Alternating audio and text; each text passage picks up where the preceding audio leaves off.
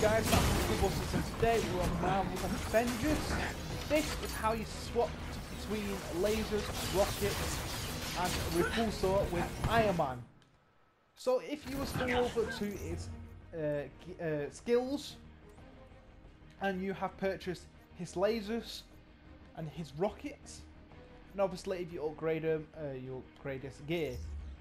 So what you want to do is head over to your PlayStation pad and go on the D-pad, left or right on your D-pad, then up or down. So up or down will give Someone you keep a score here? highlight of your enemy. But you can Just for the switch between your lasers or your rocket.